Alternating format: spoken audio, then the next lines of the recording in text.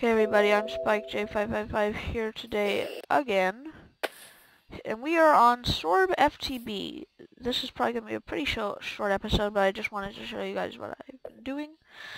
Um, not much. Uh, my quarry got stolen. Again.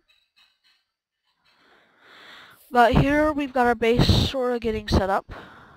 Um, we've got our barrels here with our cobbled gravel and dirt. Got a gold chest here with almost everything we own.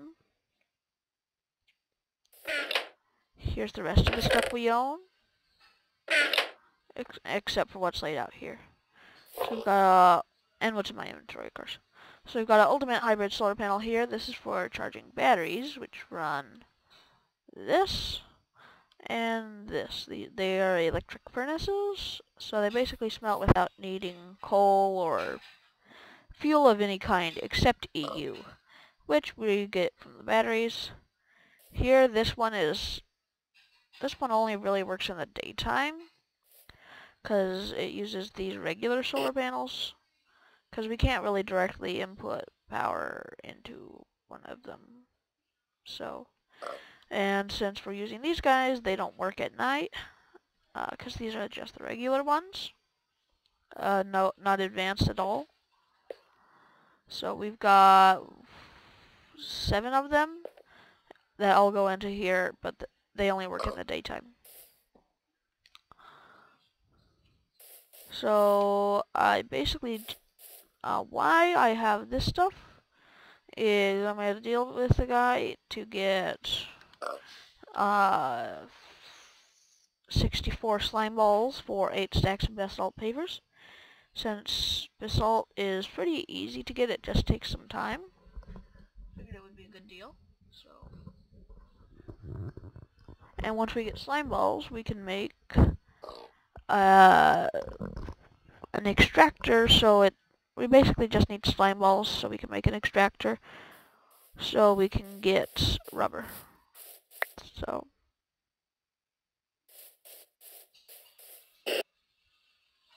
yeah.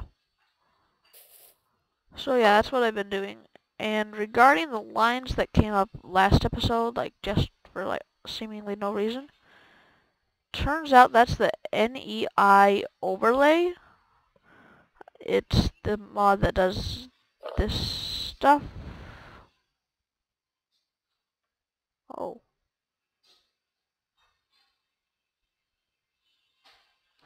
Anyway, so yeah, we've got that thing. The NEI, which, yeah, it's basically this whole thing.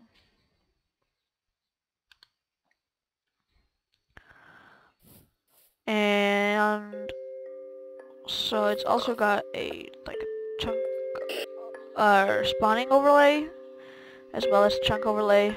But yeah. So just wanted to let you guys see what was going on. Uh, we also have a we've also got this thing running. I'm pretty new to FTB, so I'm trying to figure out how you get the uh, honeycombs. But yeah, so this is what's happening. Uh, if you want to get on, I will have the link to the Feed the Beast website where you can download Feed the Beast. And I will put the IP for the server and the server's website in the description.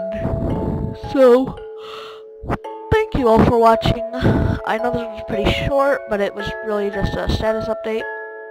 But, so yeah.